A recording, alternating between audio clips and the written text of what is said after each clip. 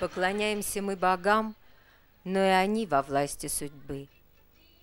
Тогда восхвалим судьбу. Но ведь и она дает только то, что предопределено кармой. Если награда зависит от кармы, то какой смысл в богах? Какой смысл в судьбе? Так восхвалим карму, над которой даже судьба не властна.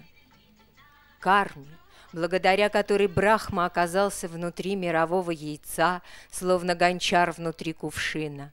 Вишну был обречен на тяжкие подвиги в десяти аватарах.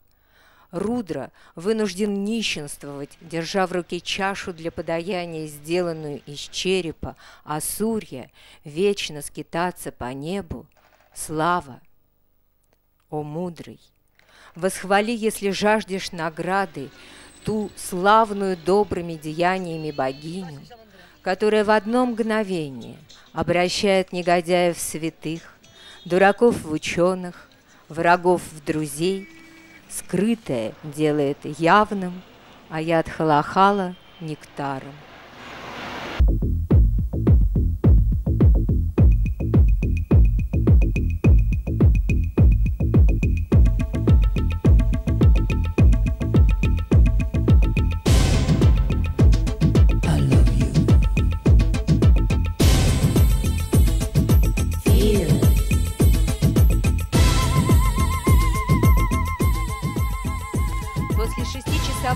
Ночного перелета Москва-Дели мы сели в джипы, привязав багаж веревками на крышах автомобилей и окунулись в беспорядочный поток одновременно гудящего и движущегося во всех направлениях транспорта.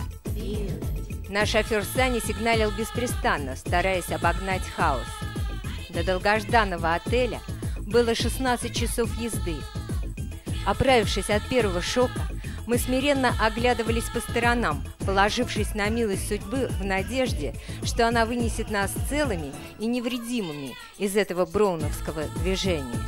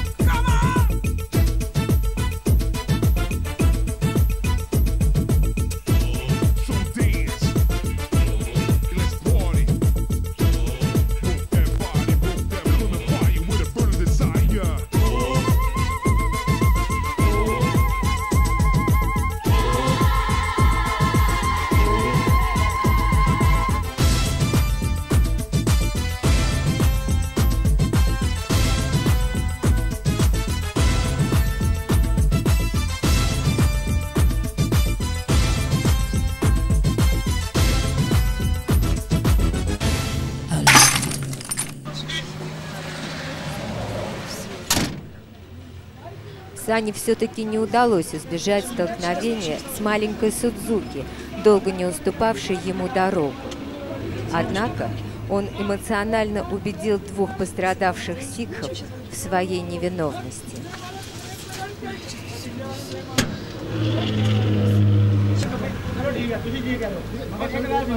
ये बंदर रब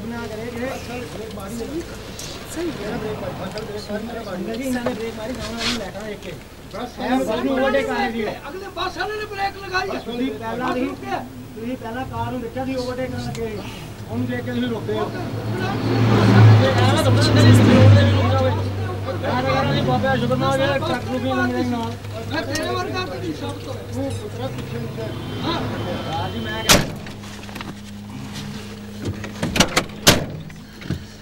Please. Slowly and carefully. It's big stress for all. Do you understand me? Yes, ma'am.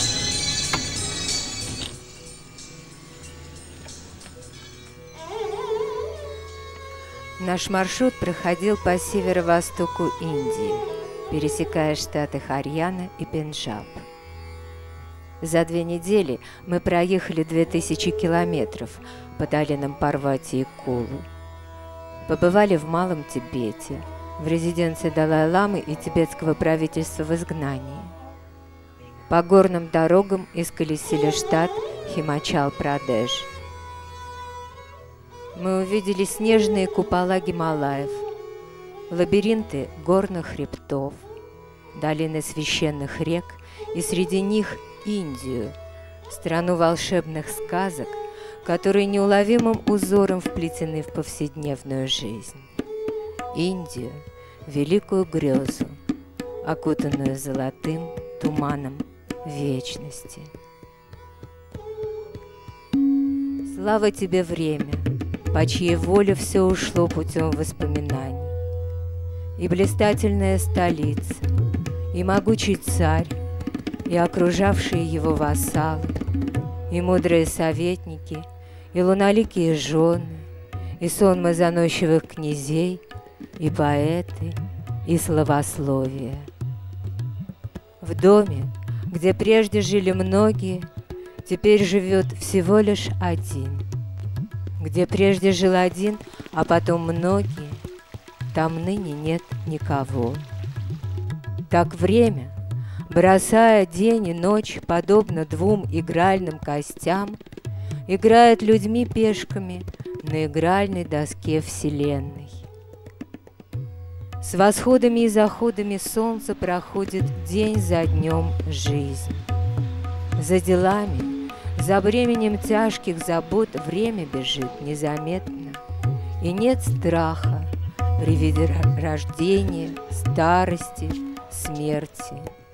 Безумен мир, пьющий хмельной напиток заблуждений.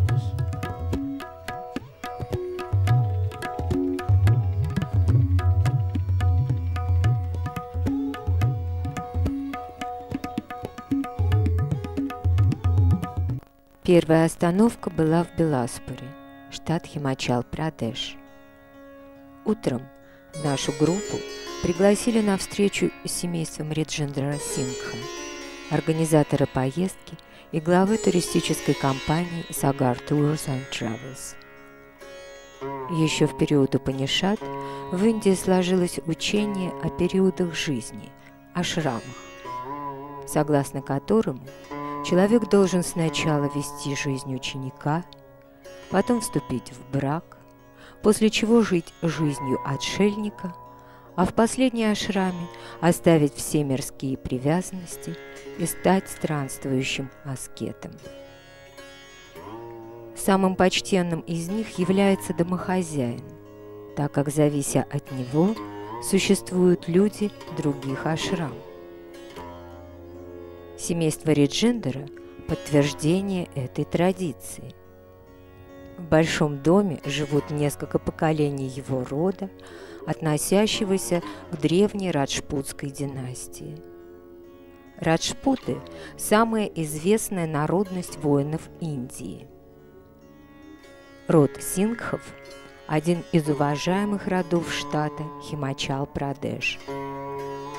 Реджиндер занимается благотворительностью, перечисляя средства на содержание студентов, обучающихся в университетах.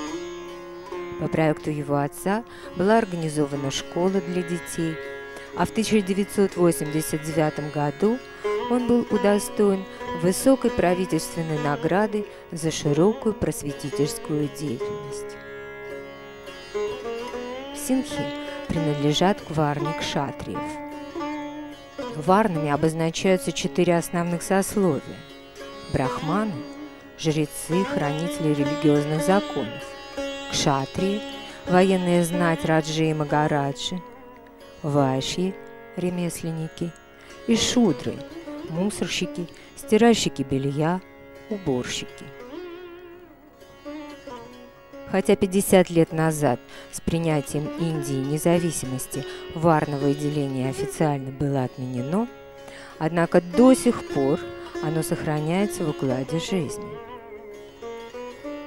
То время как мужчины занимаются общественной деятельностью, женщины поглощены заботой о детях и доме. Их стараниями сохраняется тепло в семейном очаге.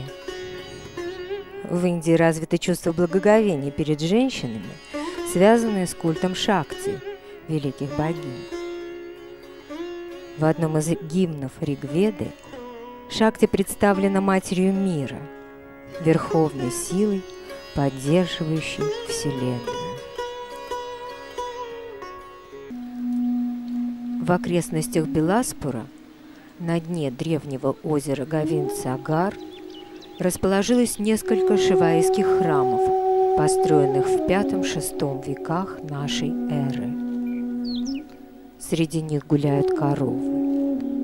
У индусов корова – особо почитаемое животное. Ее поэтический образ всеобщей матери-кормилицы Камадхены ведет свое начало с ведических времен. По учению брахманов, корова – воплощение божества. Убийство и употребление ее мяса считается величайшим грехом. Все, что получают люди от коровы, идет им на пользу и как пища, и как топливо.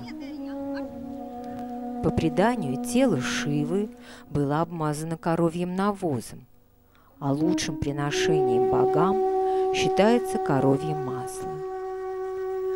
Храмы построены в форме шикары, лотосы с сомкнутыми лепестками. Среди них Радганатха темп.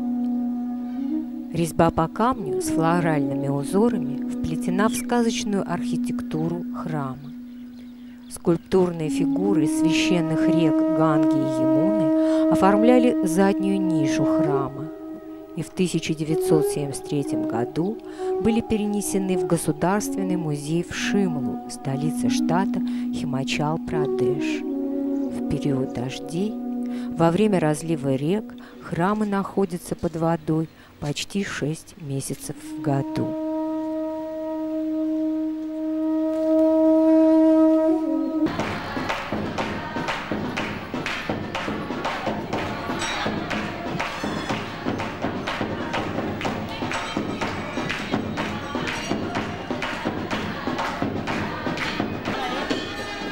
Обряды составляют основу повседневной жизни индусов. Любое обыденное действие представляет ритуал. Рождение ребенка и наречение имени, прием гостя и угощение, свадебные и похоронные церемонии. Вручая невесту жениху, Брахман произносит слова ведийского гимна, сложенного более трех тысяч лет назад. Игра в кости уподобляется сражению. Свадьба связывается с битвой, битва – жертвоприношением.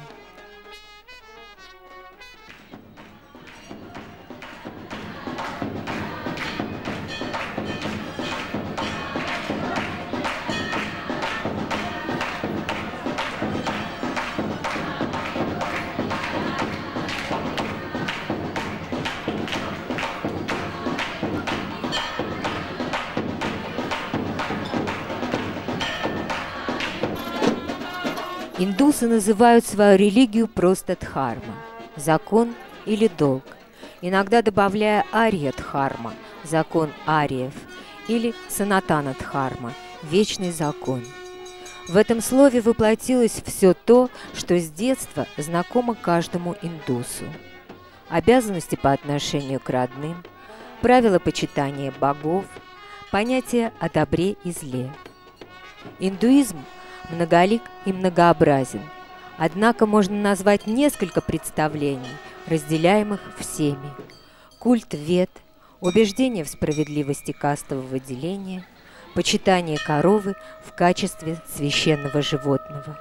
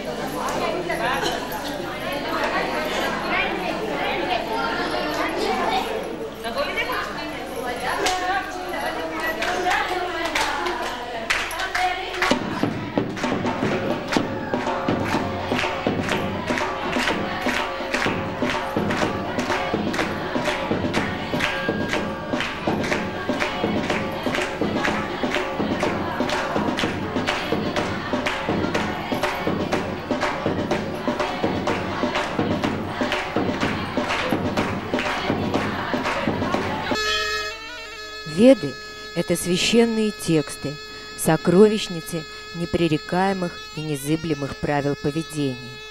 Индусы считали, а многие считают и сейчас, что веды были всегда. Брахманы передавали премудрость вед своим детям, произнося речения на распев и толкуя каждое слово. Шрути, услышанное, давало возможность приобщиться к ведийской истине –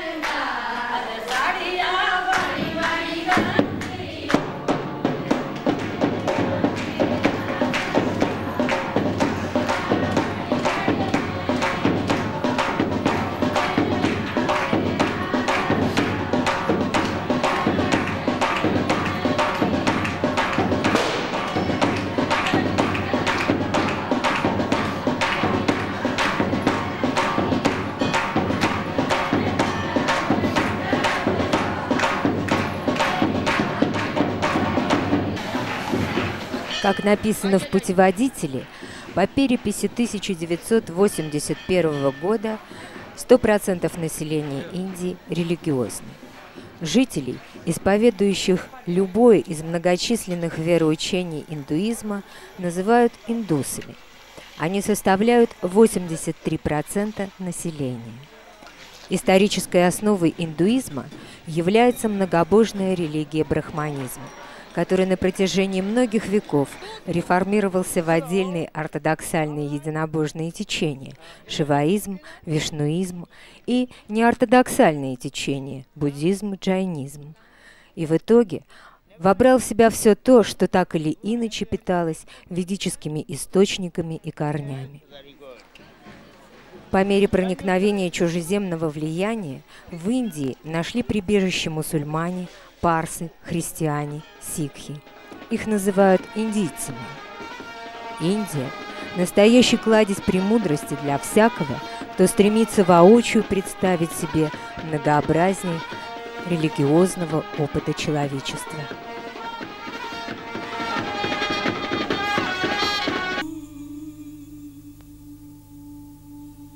Колесо Мани заполнено молитвенными текстами.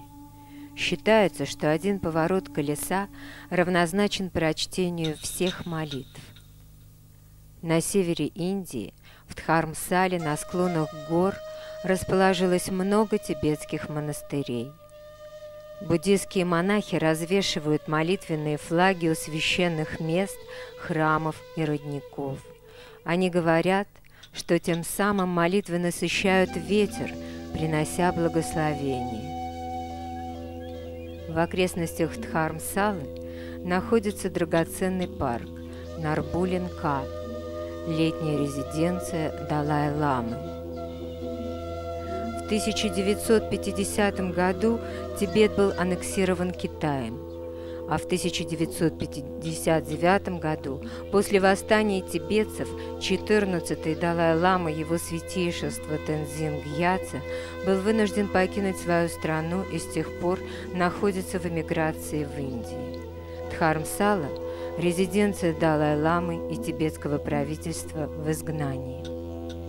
Индия, родина буддизма, приняла тибетский народ – уцелевший после китайского геноцида. Тибетцы считают, что Далай-Лама – это проявление Авалокитешвары, аспекта сострадания и любви Будды в человеческом теле. Он помогает простым людям познать причины счастья и страданий и достигнуть освобождения от них. Шантидева сказал, «Великую радость я нахожу в добродетели, облегчающей страдания существ низших миров и наделяющей счастьем страждущих. Я сорадуюсь накопленной добродетели, помогающей достичь пробуждения. Я сорадуюсь полному освобождению всех живущих от страданий самсары. Я сорадуюсь пробуждению покровителей и духовным уровнем сыновей Будд. В Бадхичите, в этой благости безбрежной, как океан, всему живому я нахожу великое счастье и радость. Сложив руки у сердца, я молю совершенных Будд всех сторон света, зажгите светоч Дхармы для всех страдающих из-за омраченности. Сложив ладони у сердца, я молю победителей, пожелавших уйти в нирвану. Будьте с нами бесчетные кальпы, не оставляйте живущих во тьме. Так пусть же силой заслуги, которую я накопил, вознося эту молитву, все живущие полностью избавятся от всех страданий. Тетяна. Он от чуди Там куда это тебя? Камни. Вот служение. Мы долго не можем. Вот очень рад, что вы сюда приезжаете, смотрите. Но без чего-то. Садик чурец. Садик садик. Корантены. 랑공을 я 저 통제세 연대 용도 돈이야 고고 야 고고 통불이야 돈 그런 양육 돈이 막 소자버렸어 음 나도 근데 야지 저 통제 파세 연대 통제 용도 도 거고 통불에 시대 그랬어. ну, этот Будда, он э, много лет себя совершенствовал, достиг просветления вот ради блага всех живых существ. 대 추에도 그런 양육 돈만 송샤 그래. 다가 Ну, 비슷한 때는 송샤 되는 말이야. 그런 양육 돈만 송샤 그래. Он говорит, Будда, он не читал только книжки, а занимался духовной практикой, и это ему помогло достичь этого просветления. Да? tūna Kōrāṋ sōng chabī chū tō Kōrāṋ ñāng lē chēpa nāshī chēpa yinā ngā tō Kōrāṋ nāshī lē yō rēs, lē yā yō rēs. Вот он говорит, вот если мы будем стараться делать так же, как делал Будда, у нас тоже есть э, возможность достичь тоже духовного совершенства. Когда нам отсюда так, как дичи джоя, то она будет так чуть редет, санжи чуть редет. Чем бы мы ни занимались, что бы мы ни делали, в общем-то, э, одна из главных задач жизни – это духовное совершенствование. Вы слава, что сказать. Лауна. Ло да ки ло я го. Ну, ну. Ты мена ты давай ло не я очень ла. Вот, например, говорит, даже дети, дети в школе изучают там азбуку или что-то. Нужны объяснения учителя, только тогда придет понимание. Просто так, если ребенок сам будет что-то рисовать, он ничего не поймет. Нет, нет, нет. Спасибо. Спасибо. Bye bye. See you next. Terus lah.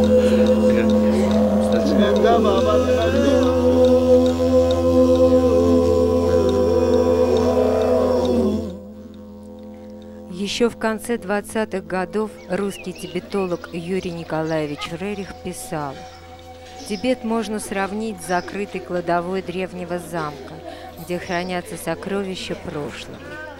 Огромная религиозная литература Тибета сохранила древние священные писания буддизма, санскритские подлинники которых были утрачены в Индии. Колоссальный труд по переводу сложнейших концепций буддийской мысли на грубую речь кочевников и создание литературного языка были совершены блестящей плеядой индийских пандитов. Многие тибетские монастыри все еще хранят исторические реликвии этой замечательной деятельности индийских ученых. Многие монастырские библиотеки владеют уникальными санскритскими рукописями из утраченного буддийского канона, выполненными на пальмовых листьях и бересте. Чете маню, там полис. Консола те,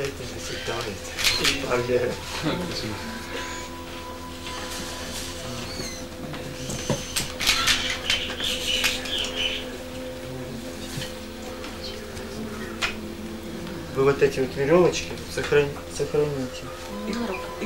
А, это не на руку. Вот эти веревочки, их вот так. а, Вот так вот завяжете. Там такой узелок за- завязан здесь. Это специально вот он делает это. Намаливают эти веревочки. Вот он. Это специально его молитвы здесь. Вот так вот завязать. И выносить, это будет ваша охрана и благословление, и ваша связь с этим человеком. Гуляя по Адхармсале, мы окунулись в атмосферу жизни тибетского народа, потерявшего свою родину. Во время нашего пребывания в Индии несколько тибетцев проводили бессрочную голодовку. Они требовали вернуть независимость Тибету. Они голодали насмерть. Во всех тибетских поселениях Индии в это время проводились демонстрации в их поддержку.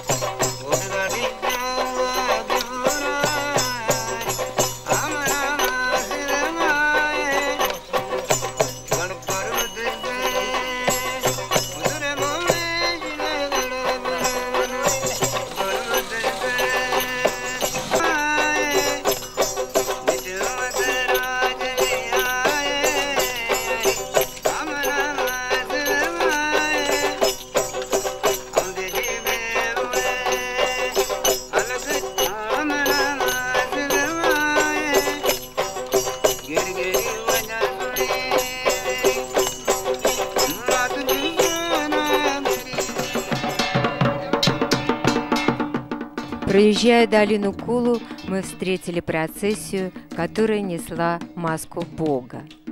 В Индии боги ходят друг к другу в гости. Считается, что в долине Кулу живет 360 богов.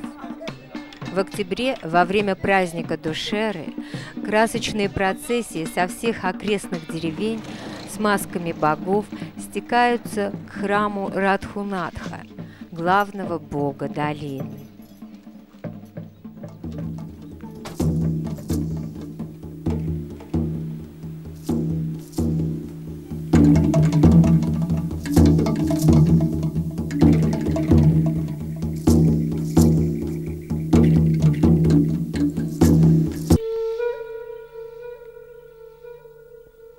Долина Кулу – это знаменитая древняя священная дорога паломников в Ладак и Тибет.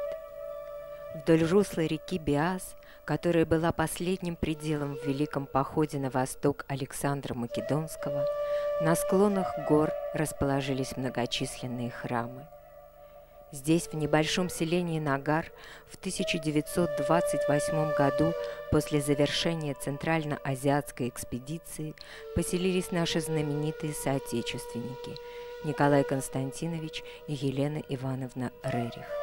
Здесь, в имении, из которого открывался вид на всю долину, в окружении снежных хребтов гор, выделяющихся на фоне голубого неба, были написаны знаменитые картины Николая Рериха, записаны учение живой этики.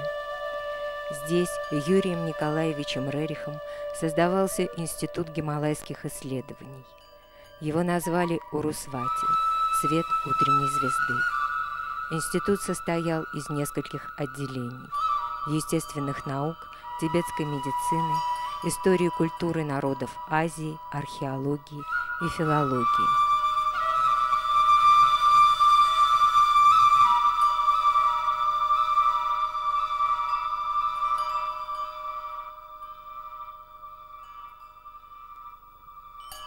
Госпожа Урсула, смотрительница музея Рерихов, любезно показала нам достопримечательности имения.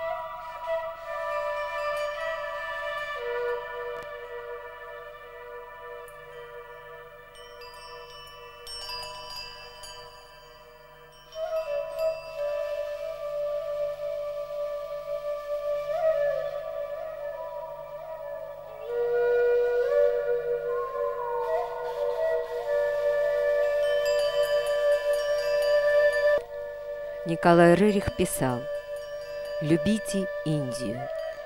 Горы Индии стерегут лечебные листья и корни.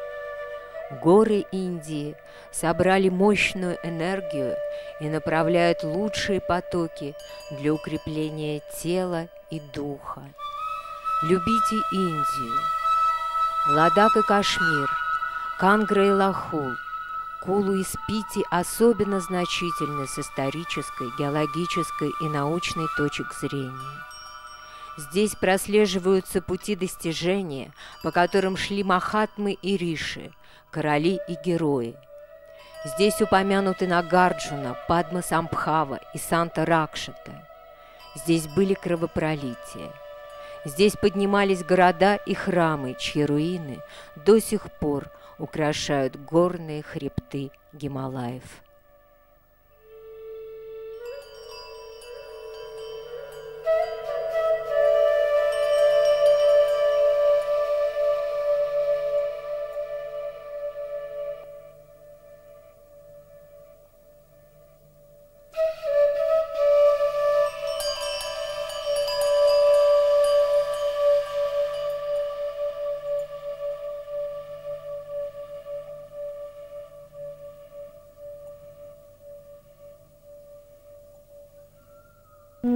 Мудрец, исходя из законов всеобщих, не должен жалеть ни живых, ни усопших.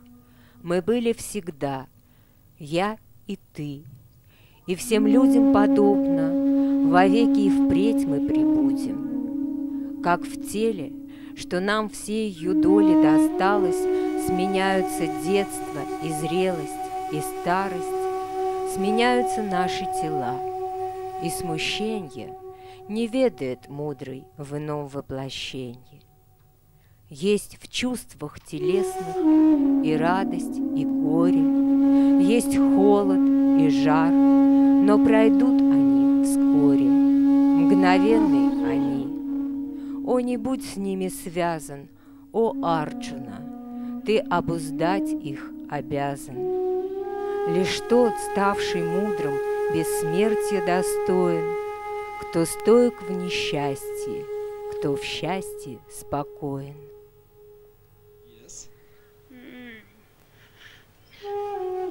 Eh, говорите пожалуйста медленно. О, это совсем сложно. Нет? Нет.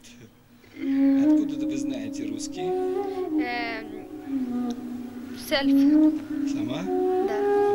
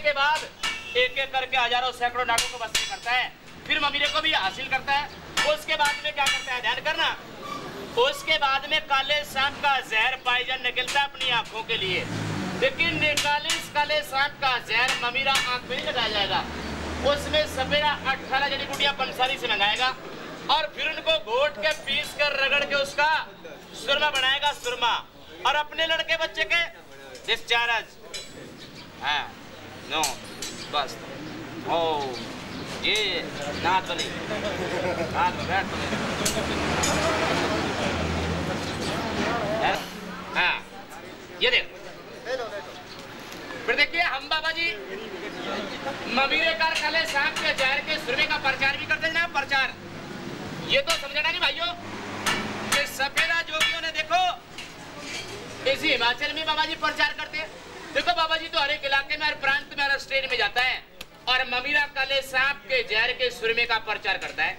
देखो इस महफिल में भी बच्चा, बूढ़ा, नौजवान, कोई भी भाई, आँखों का रोगी भाई खड़ा है, जो ये कहता है कि भाई मेरी आँख से पानी गिरता है।